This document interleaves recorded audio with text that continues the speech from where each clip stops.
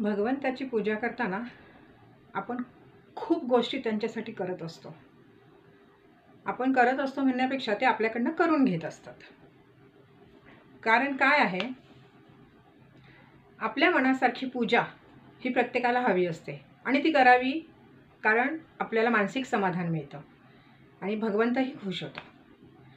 त्यापैकीच एक अलंकार आपण भगवंताला जितके चढवतो त्यापैकी एक गोष्ट अशी आहे जी भगवंताला पण अतिशय प्रिय आहे आणि आपल्यालाही ती अतिशय प्रिय आहे. ते म्हणजे फुलं. बऱ्याच प्रकारची विविध रंगांची सुगंधानी सुगंध दरवळून टाकणारी अशी फुलं वातावरण निर्मिती करतात ती फुलं. तीच फुलं आपण भगवंताच्या पायाशी अर्पण करतो. भगवंताला मस्त हारांमध्ये ती आपण अर्पण करतो. आपल्याला आजकाल तर नवीन फॅड आहे की मस्त फुलांच्या रांगोळ्या काढा. है ना? भगवान त्याच्यासमोर मस्त मस्त पॉट्समधनं फुलांचं डेकोरेशन करा फुलांच्या पाकळ्यांचं डेकोरेशन करा. अशा विविध प्रकारांनी आपण आपल्या भगवंताला खुश करायचा प्रयत्न कायम करत असतो आणि करावा. महत्त्वाचं म्हणजे आपल्या हातून जे सत्कर्म घडतं आहे ते घडूनच द्यावं. त्या व्यतिरिक्त भगवंताची पूजा ही अतिप्रिय असलेली गोष्ट आहे. जे ॲक्च्युली भगवंताच्या सेवेमध्ये आहेत ना त्यांना तर हे अगदी मनापासून करायला आवडतं आणि त्यांनी करावं. त्यांनी भगवंतही खुश होतो आणि आपणही खुश होतो. आता अशा फुलांसाठी जी फुलं आपण भगवंताला वाहतो त्याचा विषय आज मी घेऊन आलेली आहे की ज्या पद्धतीने आपण भगवंताला ज्या मायेने ज्या प्रेमाने आपण ती फुलं भगवंताला वाहतो. तर त्याच प्रेमाने आणि त्याच मायेने ती भगवंताची फुलं वाहिलेली जेव्हा आपण काढतो. त्यांना तितका आदर देतो का? हा विषय आहे आजचा. गहन विषय आहे. ह्याला छोटा विषय समजू नका.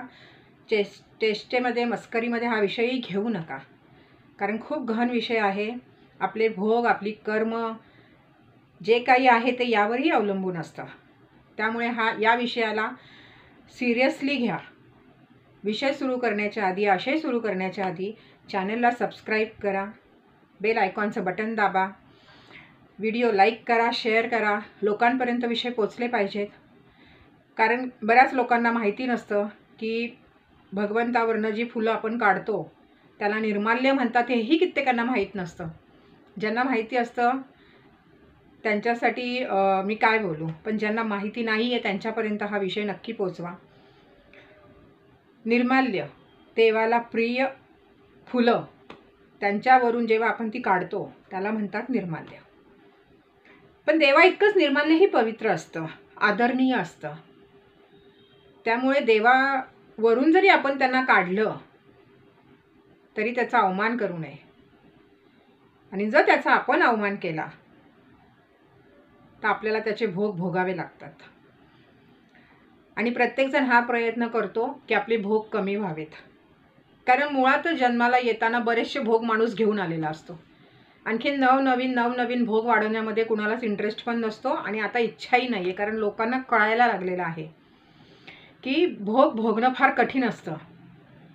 ते सुसह्य भोग व्हावेत म्हणूनही आपण देवाला भजत असतो. बरोबर ना? मग निर्माल्य ही तितकंच आदरणीय आहे. त्यालाही तितकाच आदर द्या कारण ते भगवंतावरून निघालेले जी फुलं आहेत. बरोबर भगवंताला वाहताना आपण आवडीने वाहतो. आणि ती काढताना भगवंतावरून पण तितक्याच प्रेमाने तितक्याच आदराने काढा कारण त्याला भगवंताचा स्पर्श झालेला असतो. त्याचा अनादर करू नका. आजकाल बरेच तुम्हाला सर्वांनाच माहिती आहे की बऱ्याच ठिकाणी असं होतं की भगवंतावरनं निर्माल्य काढलं जातं. आणि त्यांना एका पिशवीमध्ये भरतात गाठ मारतात आणि कचरेवाले जे बाहेर येतात त्या बाकीच्या कचऱ्याबरोबर ही फुलं ठेवली जातात. किती अवमान किती अपमान. भगवंताच्या स्पर्शाने पवित्र झालेली ती फुलं. आणि मग त्यांना झाडांवरच राहू द्यात ना. तुम्ही व्हाऊच नका भगवंताला तुम्ही हात जोडा भगवंताची पूजा करा भगवंताला नैवेद्य दाखवा. मनोभावे कराल ते भगवंताला हवे आहे. मग कशाला तुम्ही ती भगवंताने स्पर्शाने पावन केलेले जे निर्माल्य आहे फुलं आहेत त्यांना तुम्ही असं कचऱ्यामध्ये टाकता? आपली आपल्याला शरम वाटली पाहिजे. जे हे करतात त्यांच्यासाठी हा खास व्हिडिओ आहे. मी तळमळीने सांगते मनापासून सांगते मला जर कोणी असं निर्माल्याची वाताहत करताना दिसलं ना मी तिथल्या तिथे त्याला लेक्चर देणं चालू करते. मी सहन करत नाही. तुम्हीही सहन करू नका. समोरच्याला हे समजावण्याची हिंमत ठेवा की हे देवावरून काढलेले भगवंताला स्पर्शून आलेली ही फुलं आहेत. ती तितकीच पवित्र आहेत. तितक्याच पवित्र त्यांनी त्याला आदराने त्याचं जे काही विल्हेवाट लावायची आहे ती लावा. पण आदराने प्रेमाने कारण हे कायम लक्षात ठेवा की तेही पवित्र आहेत स्पर्शून आलेली आहेत भगवंताला. भगवंताची ती एनर्जी घेऊन ते सुकलेले आहेत भगवंताच्या पायाशी सुकलेले आहेत. जर असा अवमान करायचा असेल तर कृपा करा आणि ही फुलं झाडांवरच ठेवा. काढू नका झाडांवरती जास्त जगतात. भगवंतांच्या चरणाशी भगवंताच्या स्पर्शाने ती फुलं जगतात. पण ती कधीतरी सुकणार असतात ती लवकर सुकतात झाडांवरती जास्त पोचली जातात. हे कायम लक्षात ठेवा. भगवंताला तो फुल प्रिय आहेच. आपण वाहतो आपण प्रेमाने वाहतो. पण आपण त्या तितक्याच प्रेमाने त्या फुलांना नंतर निर्माल्य झाल्यावर घेऊन आदर आदरा तिथे त्याचं करत नाही. आदराने आपण त्यांना वागवत नाही. ती फुलं म्हणजे आपण कचरा समजतो आणि ही चूक मोठी करतो आपण. तुम्ही भगवंताच्या त्या फुलांना जे निर्माल्य होतात त्यांचा तुम्ही कचरा म्हणून अवमान करत असाल ना तर तुमच्या आयुष्यामध्ये हे भोग प्रचंड मानसिक त्रास देणारे असतात हे कायम लक्षात ठेवा. कळलं? त्याने आपल्या कुळाचा सर्वनाश व्हायलाही वेळ लागत नाही जेव्हा तुम्ही ही फुलं कचऱ्यात टाकता. आणि ज्यांचे ग्रह ऑलरेडी खराब असतील आणि त्या खराब ग्रहांमध्ये जर त्यांनी ही कामं आणखीन केली ना म्हणजे तुम्ही अनादर केलात त्या निर्माल्याचा ना भोगांमध्ये आणखीन भर पडते आणि ते भोग भोगत भोगत भोगत भोगत तुम्ही भगवंतांना किती आळवा मग? कळलं? काही होणार नाही. भोग सुसह्य होऊ शकतात. पण सुसह्य होण्याचं पण एक लिमिट असतं. भोगांना सुसह्य करण्यासाठी तुम्ही आणखीन भोग वाढवत बसलात तर ते सुसह्य कसे होतील? आणि हा साधा विचार आहे. करा. नका करू असं तुम्ही. आदरातिथ्य भावना जेवढ्या भावनेने तुम्ही ती फुलं वाहता तेवढ्या भावनेनेच ती फुलं तुम्ही ज- त्या निर्माल्यांचा अपमान करू नका. त्या भावनेनेच तुम्ही त्या निर्माल्यांना आदराने त्याचं यथोचित त्यांना त्यांची जागा द्या. आणि खूपदा काय होतं ना की मी बघितलं देवळात जाऊन पण लोक फुलं मागतात. देवाला स्पर्श झालेली फुलं लोक घेऊन येतात घरी आणतात.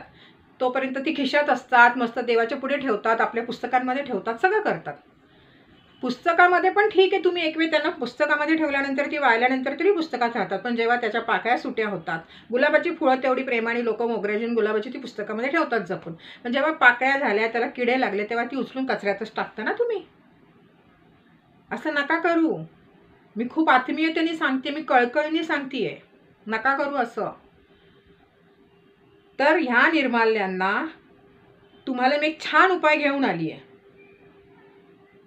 तसं करा तुम्ही. म्हणजे पर्यावरण बाधा नको.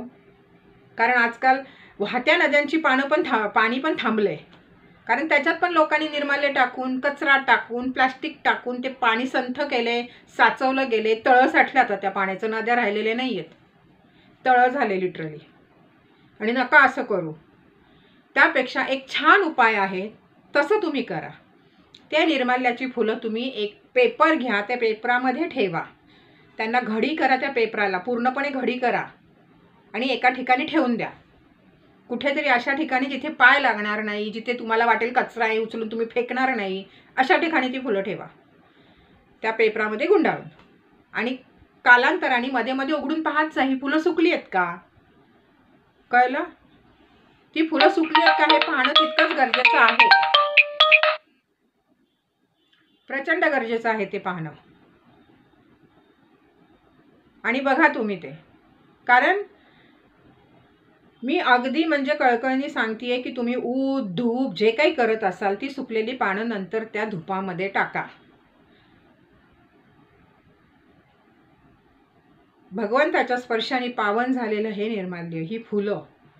त्याला धुपामध्येच तुम्ही टाका धुपामध्येच त्याची आहुती द्या धुपामध्येच त्यांचं धूर होऊन त्यांना जाऊ देत.